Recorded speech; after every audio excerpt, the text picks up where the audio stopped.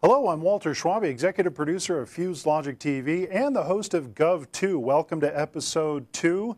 We've got another stacked show for you today, and some of you may be viewing our pre show as we get everything all uh, set up and worked on uh, for the show to roll out. Uh, today, we again are joined by uh, some great guests. We've got Alexander Howard out of Washington, D.C., he's the Gov2 correspondent for O'Reilly Media. And we're also joined out of uh, Ottawa, Mike Kujawski, who is the Vice President of Strategic Marketing and Digital Engagement for the Center of Excellence for Public Sector Marketing. We're going to get into that title a little bit later in the show, but first, I want to talk to you about civic participation. It's incredibly important that we as citizens ensure that we let our government agencies know that we want to be a part of the process. And what I want to do right now is just kind of give you an example, a couple of examples, in fact, of civic participation where people around the world are helping their government agencies learn more about a given topic. And in this case, I want to take us to the Isle of Man. Today on Twitter, uh, this was uh, pushed out by a number of Gov2 uh, advocates on Twitter.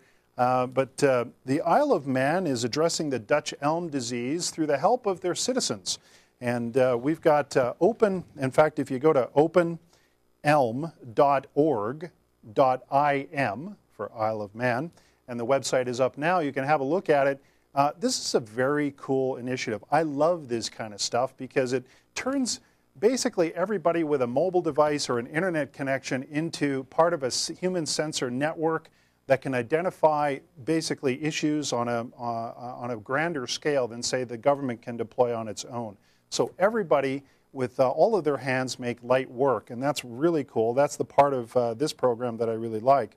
Now, if you look at the website there, it's uh, actually, you know, I like the website actually too. It, it, it uh, it's sharp looking, it's clean, it's simple. You can get started right away.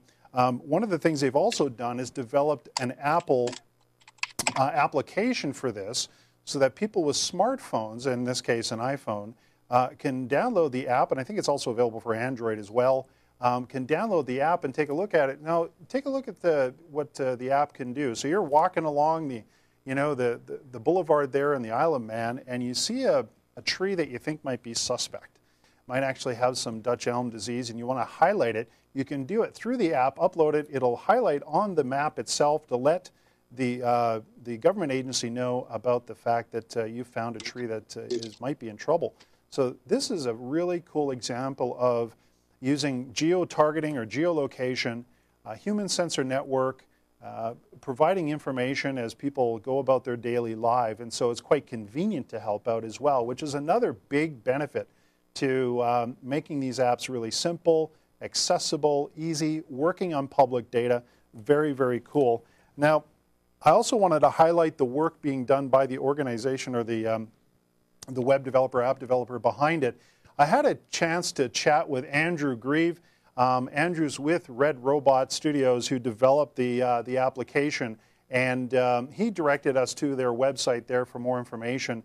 I like to highlight app developers when they build this kind of cool stuff because this is a demonstration about how private companies, organizations, and in this case around the world, private organizations can level, uh, leverage public data, build applications, to improve the quality of life for residents in their area.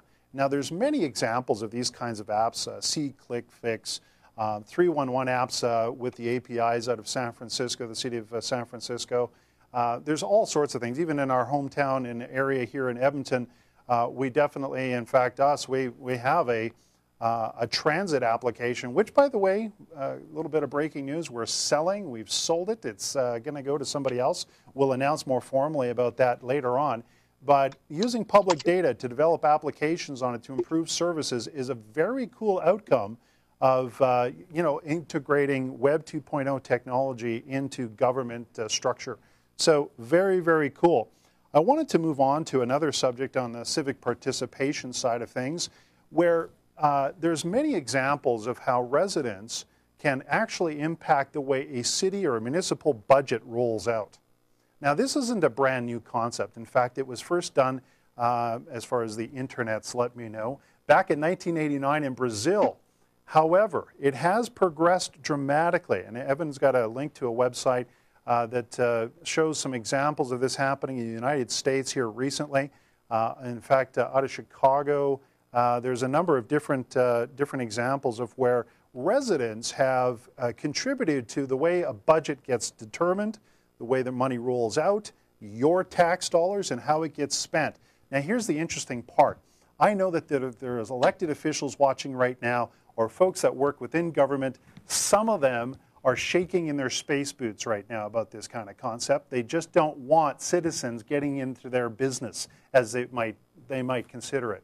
However, it's absolutely imperative that we as citizens start to work together with our government agencies to start to change the flow of information, collaboration together, and, and start to have some direct input in some of these things as we move forward. And certainly a city budget affects us all. There's no doubt that um, many people would like to have input on how their tax dollars are being spent, what the priorities are for them. Now, I'm not suggesting for a minute that we just unleash the hounds and just let it roll out without any sort of parameter, structure, framework around it. That's not what I'm advocating at all. But I do suggest, though, that we need more citizens standing up, taking the lead and saying, look, we'd like to be able to do this. How can we do it? Let's put a framework in place. So um, now that was at shareable.net, by the way, if you wanted to learn more about that particular link. And if you actually just search participatory uh, budget online, you're going to see all sorts of links. Uh, one other one that I, um, I didn't actually supply uh, Evan to bring up on the show, but that I want to make sure that you're aware of. If you go to participatorybudgeting.org, there's an excellent uh, website developed there for all sorts of examples of this kind of thing rolling out. It seems like a well-developed website. It's been up for quite a while now. I think the since 2006. So there's a lot of uh, information there. It's a nonprofit organization that supports participatory budgeting in North America. So check them out. Learn more about how you in your city, your town, your village could maybe start to talk to elected officials and or uh, folks within administration as to how you might be able to start this sort of city budget work within your community and uh, collaborate on that basis. Okay. Now that was uh, that's we've got a stacked show, so I've got to really keep it moving along. Um, now let's, uh, let's, just head on to um, to the next part. One of the things that I like to do in every show is highlight some of the events that are going on that are Gov2 related and or uh, open government focused, and those two things are different. We'll get into that a little bit later. With Alex Howard, we brought that up in episode one about how those two things are different, and uh, I'm going to ask him about that, so uh, we'll get an answer from Alex in a bit. But there's a couple of uh, three events that I'd like to highlight for you right now. The first one is uh, the City of San Francisco is sponsoring City Camp SF 2011. That's going to be happening on June 8th. So if you're going to be in the City of San Francisco region, on June 8th. You should definitely take in CityCamp. Uh, the city of San Francisco is stepping up, and of course, that city in general has been doing a lot of work with uh, open APIs for 311 apps. Uh, there's certainly a major advocate in, uh, with respect to open government and the things that they can do there. So it's uh, terrific that they're sponsoring that event. Uh, also, OpenGov West happens this weekend on May 13th and 14th in Portland, Oregon. If you've got a chance to head down to that fine city of Portland, Oregon, take in OpenGov West. I know that they'd be happy to have you. Tickets, I believe, are still available. Uh, also, um, a little bit on more on the local side here. Next Tuesday, I'm going to be presenting to a small group of residents from the Strathcona County area. Uh, Councillor Roxanne Carr actually approached me and said, look, we want to get more residents involved, certainly in her ward here in Strathcona County, but we want to get residents involved in general. How can we do that? What kind of information can we arm these residents with? So we've, I mean, there's so much to cover. How do you do that in 45 minutes? But we've narrowed it down. We're going to start talking about how citizens can get engaged immediately on platforms such as Twitter and others to start to communicate directly with the local government here. And I know that uh, I've been, uh, it's been confirmed with me that several of our council members will be in the audience and in attendance there as well as many different residents. I hope to have a packed house there at uh, County Hall, and uh, we'll go over some really interesting things. So look for the hashtag on Twitter, pound SHPK. Um, that's for Sherwood Park, and also Strathco. That's also for Strath, short for Strathcona County. And by the way, the Strathcona County Twitter account is Strathco County. I guess Kona might have been might have been already taken. I'm not sure. But the uh, the county uh, Twitter account is Strathco County. Let them know that you might be tuning in or coming down to the event next Tuesday. Okay, lots on the go. Now it's time I'd like to introduce uh, one of our guests here today, a special guest uh, in from Ottawa. His name is Mike Kujawski, and he is, as I said earlier, the Vice President of Strategic Marketing and Digital Engagement for the Center of Excellence for Public Sector Marketing. Mike, welcome to the show. Welcome to Gov2. Thanks for inviting me, Walter. You're welcome. How you doing? Yeah, you'd probably like me to uh, definitely give you an explanation of why my title seems to be the longest title you've probably ever heard in your life.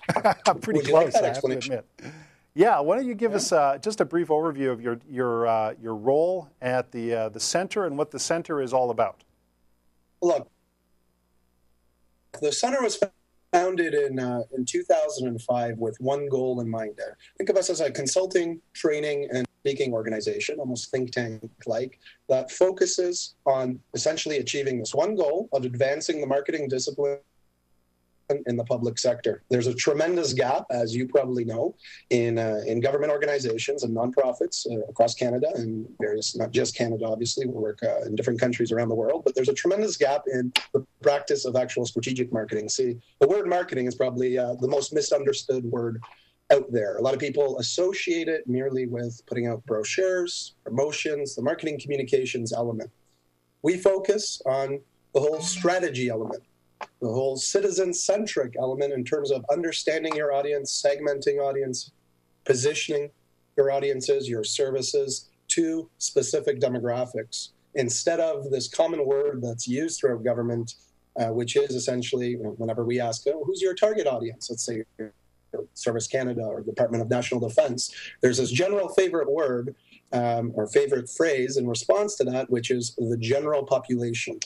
Now, if you were to ask anybody in the private sector that is in marketing and ask them what their target audience is, and they said everybody, you'd think they're insane.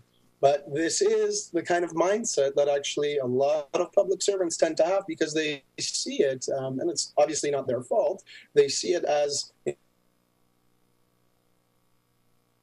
you know, them having to serve every single Canadian or constituent or citizen within their given organization, their, their given country, right? But the reality is you can be more efficient and effective in what you do. So our organization is there to help breed that efficiency and effectiveness using and borrowing these practices from the private sector of strategic thinking and applying them in a purely public sector context, right? So understanding the very real challenges that government faces, oftentimes, especially here in Canada, um, at the federal level, of things like official languages, um, privacy policies, the fact that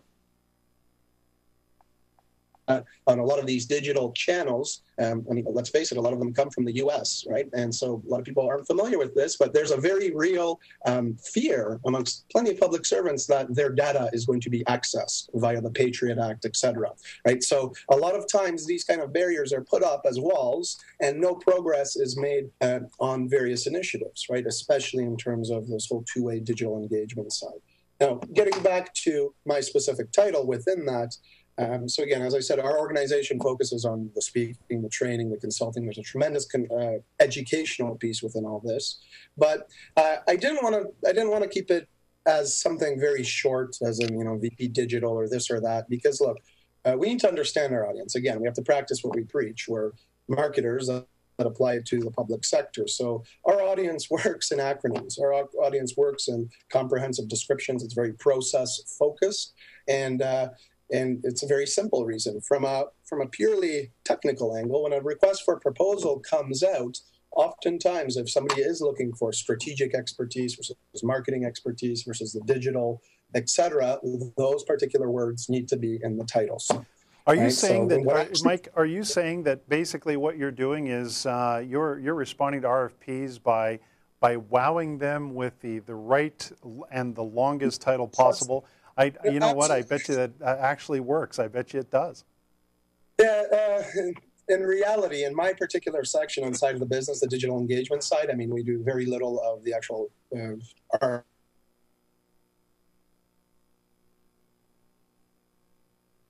RFP component. I mean, a Yeah. lot of it right now because it is so out there. It is kind of uh, there are plenty of buzzwords surrounding social media. Sure. Everyone wants to get into this space, so a lot of it is, it is obviously by request basis or through speaking and training. Sure. But okay. if you look at the full center's name, right, the Center of Excellence for Public Sector Market, what does it sound like? Does it sound like a private sector web design company?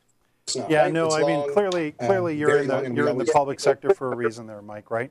So uh, what we'll do is uh, thank you for that, and thank you for the explanation for the center. Um, I know that Evan's got the uh, the website up. He's had he's been showing the website so that people can find out more information about your organization. Um, that's fantastic, and it's going to be it's going to bode well. I've got some questions uh, uh, coming up for for both of you, but before we go on to uh, the Digiphile with Alex Howard, I want to take a quick break and uh, we're going to come back. I want to. We've got a regular segment here that we're forming out, calling "What Does Gov 2.0 Mean to You?" Uh, we're going to run a quick video here from the Sunlight Foundation. They've put out a, a short video here for about uh, 40 seconds or so. We're going to watch that. Then we're going to come back with Alex Howard and the Digiphile. Stay tuned. We'll be right back.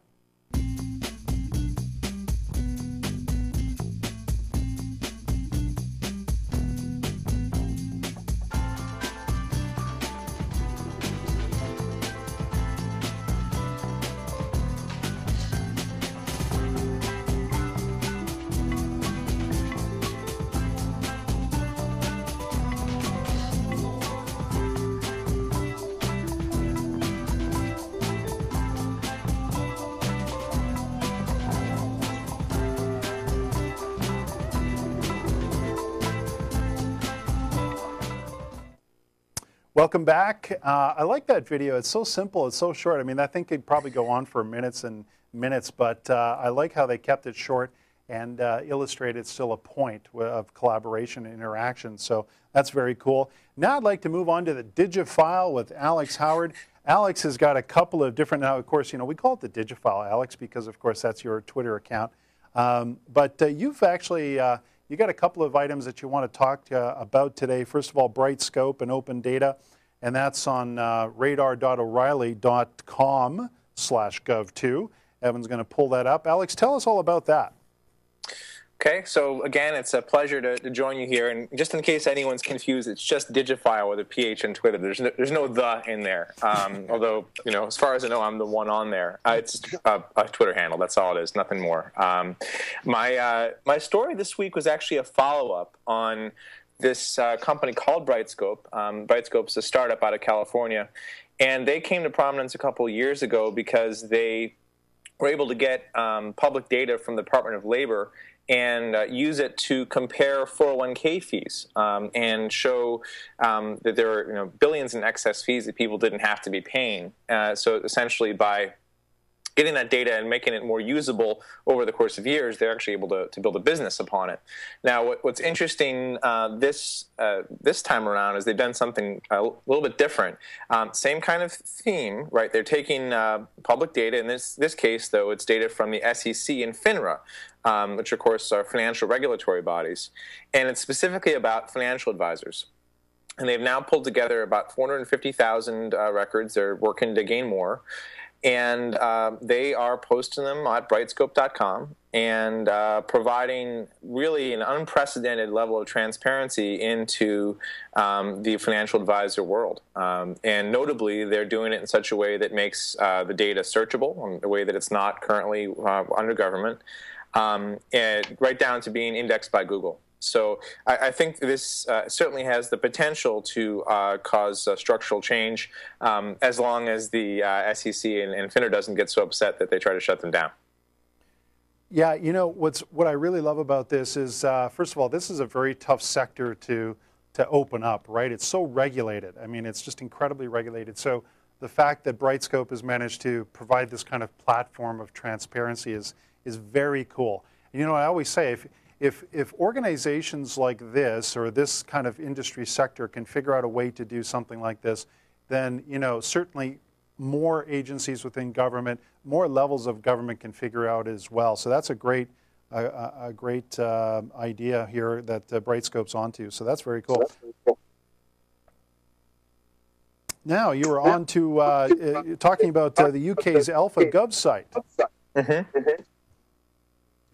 Um, yeah, uh, sorry, I just uh, lost you for a second. A little echo. The wonders of skyping uh, here. Yeah, um, you know, there's there's something interesting going on across the pond right now, um, uh, and it, it's really, I think, based upon this uh, uh, thinking that uh, when people go to government websites, they don't always find what they've come there to do. The, this is the whole idea of of being citizen centric in terms of your design, and this is something that the private sector has been working on now for you know for a couple decades. We started seeing web pages going on in the you know up in the early '90s. And over time, uh, designers have worked together with people who do user experience, with everyone else who understands, um, you know, that often when you go to these destinations, it's it's to do something functional. And so, uh, the UK, uh, underneath uh, um, some pretty smart folks, uh, specifically uh, Martha Lane Fox, who has been one of their digital strategists, um, is is um, reworking um, how it's approaching um, uh, kind of a universal website for uh, for government. And we'll see what that actually means in practice, right? Um, right now, it is literally an alpha. Uh, if you go to um, alpha.gov.uk, you'll, you'll see this different site. It's very lightweight. It's uh, um, actually geolocated, so it should theoretically sense where you are. And it, they're trying to build it around the things that people go to websites to do, right? So they try to do some analysis of the reasons people show up places. And if, if this sounds familiar, again, it, it should if you're into web design, if you're I mean, thinking about um, any kind of, of user design.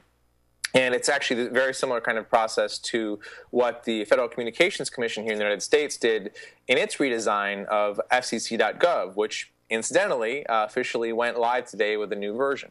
Um, they analyzed what people were coming there to do and then organized the navigation and the information architecture of the site around that. And uh, alpha.gov UK is um, really working towards that sort of thinking. Um, and uh, notably, it's built using some uh, open standards and technologies which make it pretty cutting edge. Yeah, I mean, anytime, again, you know, the things that are going on over in the UK are, are really cool, very amazing. I love this kind of thing. And again, that open standards, uh, integrating open standards wherever possible is something that, you know, I can get behind for sure. Um, you know, great. It, it, you know, Evan was able to pull up the FCC site too, as well, Alex. So it, it's actually looks pretty cool. It's uh, mm-hmm. pretty neat uh, all the way around. That's great. So, Mike, I want to go to you quickly. Mike, if there was a favorite sort of open standards, open government uh, project that uh, that you're a big proponent of here in Canada, is there anything that comes right off the? I mean, there's some, you know, yeah, the recent uh, data. Anything recent. Data.gc portal, right? Launched yep. by uh, Stockwell Day there before he left with uh, with uh, David Eaves, and it's obviously been years and years uh, in the actual making, and it finally came out. Yes, um, I, I, believe last time I checked, there were about only 700 or 800 or so data sets there.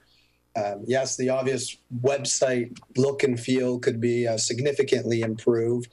Um, but let's face it, in Canada, we've had uh, our own unique challenges, especially at the federal level, releasing any kind of open data and centralizing this process. But this is a tremendous start. And the reason why um, I like this portal so much is because, look, I, I do about uh, two or three different speaking engagements or, or training workshops throughout Canada a, a, week, right? And every time I am capturing kind of this whole broad social media space landscape and how it affects government organizations. And every time I talk about open data, eyes open up, right? Everybody, it, when it's positioned a particular way, people get it. The, the problem I'm kind of seeing though is that too often the, whole open data field, even by the names kind of associated with it, are very technologically sounding, very techy sounding, right? And so it alienates a lot of the audiences I deal with be having a direct impact in accelerating open data efforts. So a lot of the communications, uh, uh, strategic communications, marketing folks within government that could directly apply this sort of approach towards making whatever their service, et cetera, program they're trying to get out there, get more people using, they could be applying concepts of open data, but they have no idea about it. So right. going right. back to the portal, I'd love to see some kind of concerted strategic marketing effort of the actual open data portal and encouraging use throughout various organizations within government. Well, I think getting building awareness is absolutely part of the part of the issue that still resides here, and actually, it's a great segue into uh, one of the, the question of the week that we want to lead into. Mike, thanks for highlighting uh, data.gc.ca. Uh, you're right. First of all, on the design side, it's not overly inspiring, but it is very typical federal government designing. Common uh, looking tool, right? They have to abide by that. Yeah. Yeah, exactly. So you know that is definitely uh, falling in line with, with what they're doing. So maybe they need to take a uh, a bit of a lead from the, the UK Alpha site that we just reviewed in terms of uh, reviewing all of that uh, design uh, implementation or redesign implementation and using some open source there. But uh, moving on, the question of the week that I want to pose to both of you and give you a chance to answer to, you know, on May 27th, 2010, Business Week wrote uh, an article with respect to uh, Gov 2.0 being the next internet boom. Okay, now we're almost a, a year later, and uh, I don't see that this actually has become yet matured enough to where we can call it an internet boom. Uh, my opinion is that we're not there yet. We haven't hit the critical mass. Uh, we're just now seeing things in this country, for example, in Canada, just uh, you know the, the, the data open data portals and stuff just being releasing. And the fighting and the, the, the, the working and the battling to get government to even consider that uh, and open data is is got to it has to happen before any of the private sector can start to actually work with any of this data that the three levels of government are sitting on.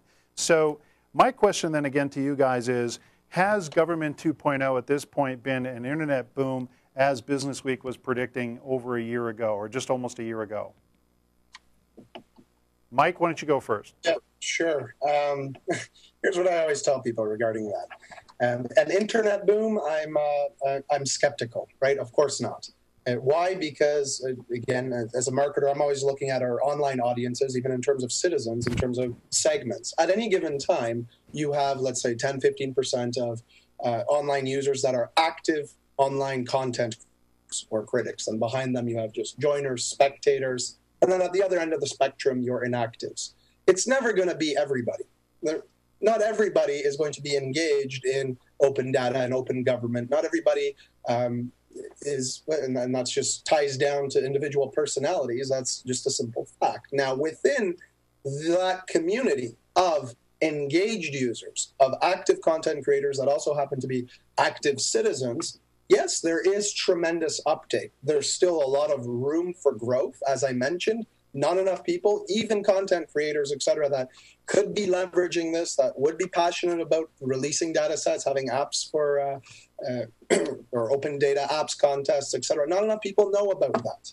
I agree. Have, sometimes we are just stuck in this bubble of. I mean, I go to plenty of open data events, et cetera, talking about all this progress. Yet another city that released something. Yet when I talk to the actual program people involved in these programs, very few know about what's what it, what's actually going on. They think it's some kind of web techie initiative for apps developers or for programmers. It has very little to do with that, right? That's, That's great. Uh, yeah. Yeah, exactly, Mike. Uh, Alex, uh, what do you think? Are we still got a lot of cultural change to go before we can start to say that this is going to be the next internet boom? Well, I think the frame's a little off uh, I'm not surprised in the sense that um, most people usually extrapolate from Web 2.0 to Gov 2.0, right? And that's not um, exactly a shocking thing given how the various people using the terms or how they often think of it. Um, and, and, I think that the, the maybe better way to think about it is um, how government can do things better. Um, more more intelligently, um, more efficiently, in a more lean way. All the different ways that I think government is going to need to work um, or uh, in order to respond to budget cuts, to increased citizen demand for services, for information, for transparency, you name it. Um, you know, that there's uh, more going on here than uh, governments getting onto social media. And if you think about Gov 2.0 in that sense, it's profoundly limiting.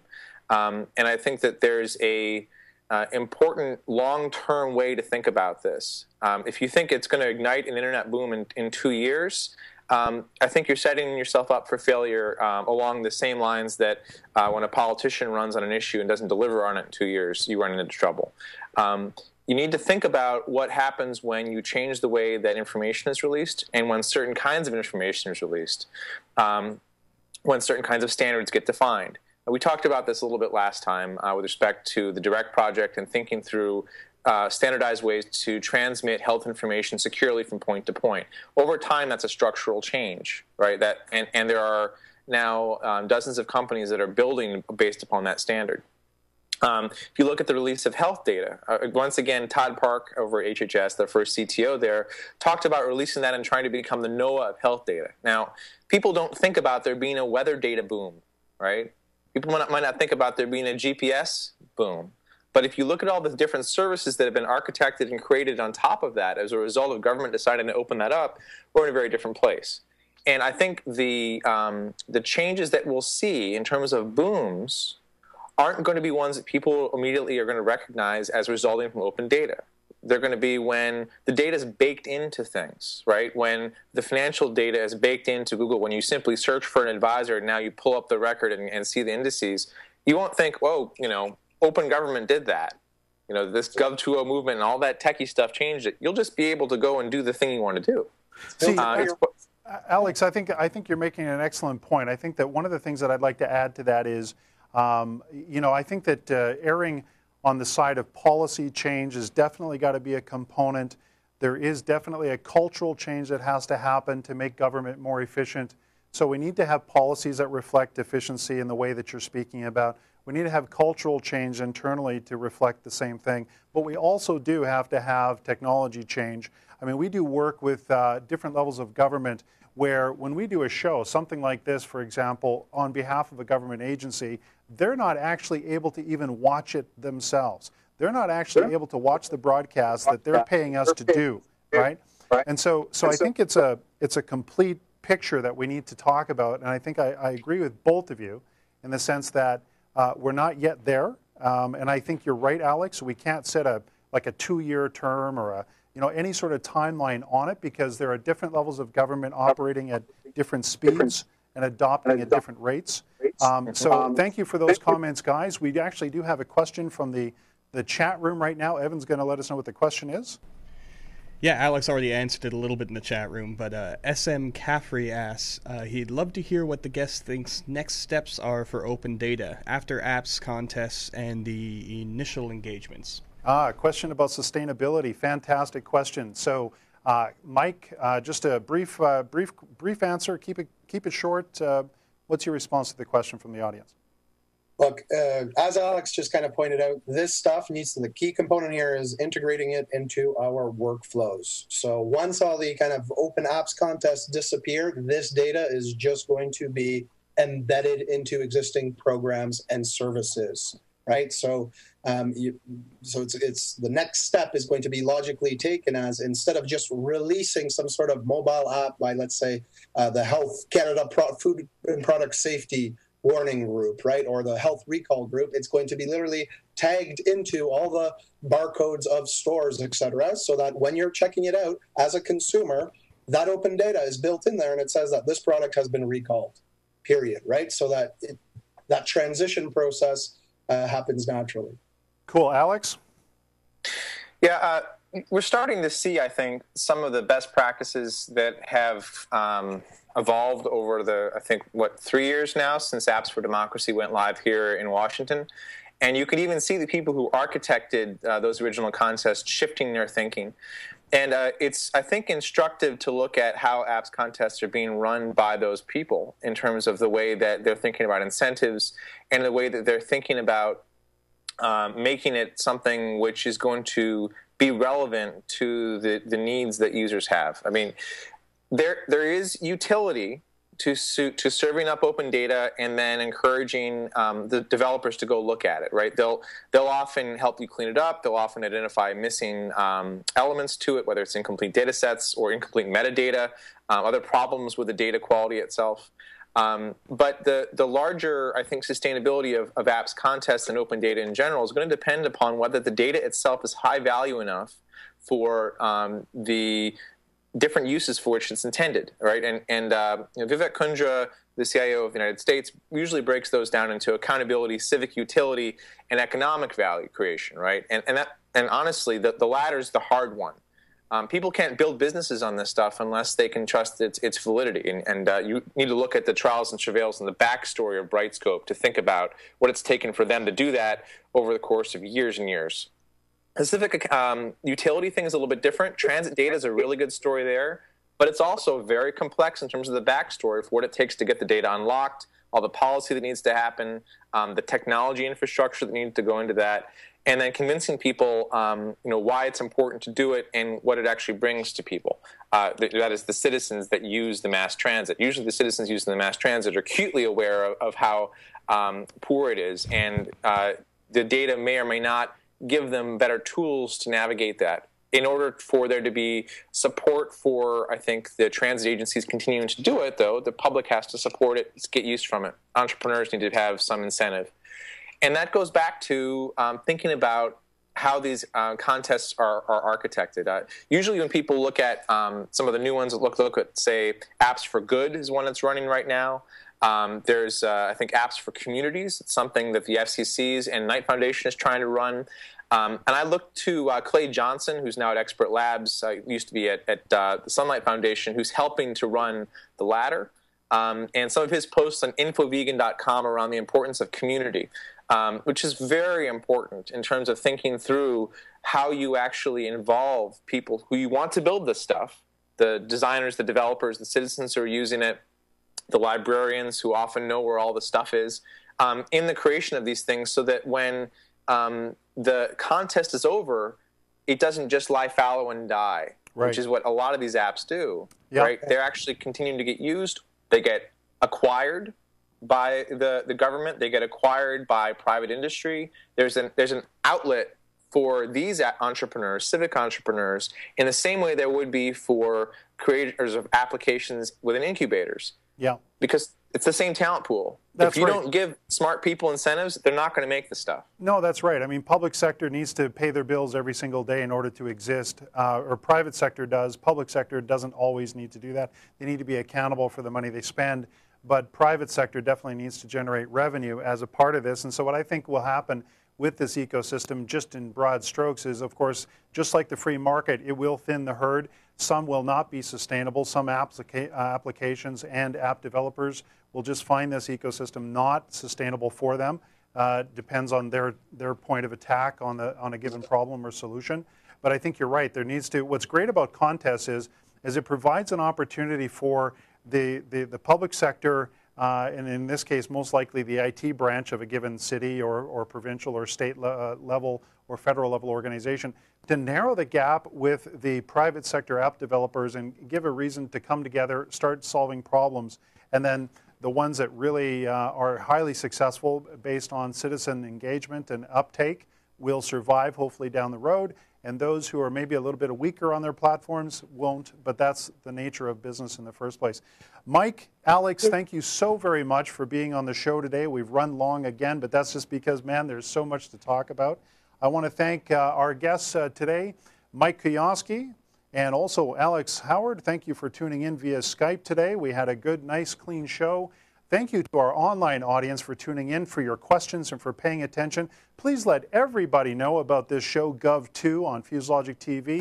The reason why is because we'd like to cover the work and the innovation that you're doing in your government work every single day. And if you're a citizen, let us know what's important to you, and we'll look to highlight it on the show every Thursday at 1.30. Now, a quick programming note.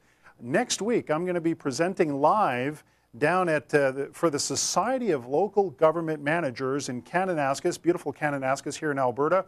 And uh, I'm hoping to do a live Skype call and do the show live from down there, but we'll, we'll see what kind of technical uh, hiccups we may or may not have down there. But tune in nonetheless regularly on Thursdays, 1.30 Mountain Standard Time. I'm your host, Walter Schwabing. Until next time, stay social.